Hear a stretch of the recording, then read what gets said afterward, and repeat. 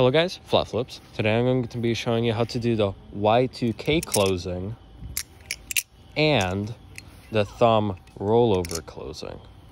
So for the Y2K closing, you're going to first know how to do the Y2K, which you just hold it like that, flip it over your finger, and then catch it after. Now, for the closing, you don't catch it. Jeez, my bad. So what you're going to do is you're to have it like this. When you grab it, so let me do that in slow motion for you guys. So when it's here, I go like this and then it swings over and it closes. Like that. All right.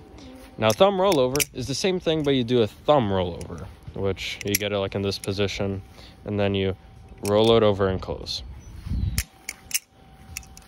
You just roll it and then do the same thing and it closes.